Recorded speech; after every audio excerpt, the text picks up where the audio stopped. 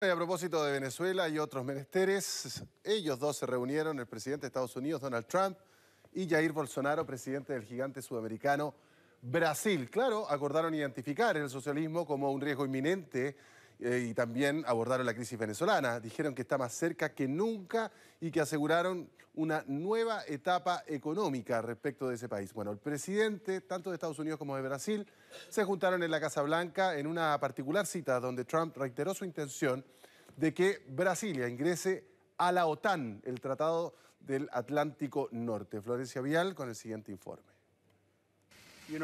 Sabemos que Brasil es toda una potencia en el fútbol por lo que vamos a intercambiar camisetas. Veo que tenemos una aquí y es de la selección de Estados Unidos. Ni que estuvieran en la cancha, los mandatarios de Estados Unidos y Brasil intercambiaron las camisetas. Trump estampado en la verde amarela, mientras que Bolsonaro quedó grabado en la estadounidense. Miradas cómplices, pocas sonrisas, y mientras uno le dijo que lo admira y que defiende su polémico muro, el otro le respondió que están más cerca que nunca.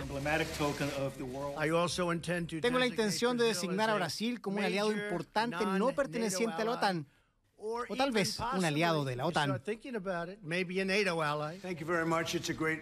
20 minutos tuvieron para conversar en privado, seguido por una conferencia. Los puntos fuertes se centraron en un posible acuerdo para expandir el comercio entre los dos países más poblados de América y, claro, Venezuela. Pese a que Washington sigue sin descartar la intervención militar en el país, Brasilia se niega a mandar soldados.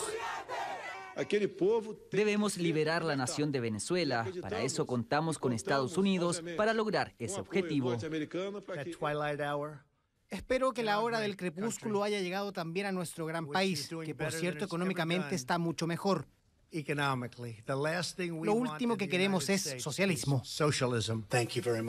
Los mandatarios incluso compartieron un enemigo, los medios de comunicación tradicionales, a los que Trump ha acusado constantemente de mentir sobre él, porque fíjese en la cara que puso cuando Bolsonaro se unió al término fake news.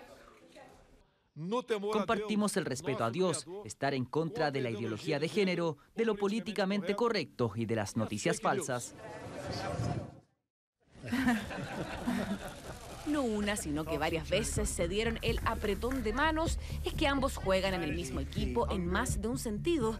Discurso de corte nacionalista, uso incendiario de las redes sociales y están en el mismo bando al hablar sobre armas. Encuentro que además de elogios por parte de Bolsonaro, contó con un particular interés de Trump en la entrada de Brasil en la OCDE, el club de las economías más fuertes del mundo.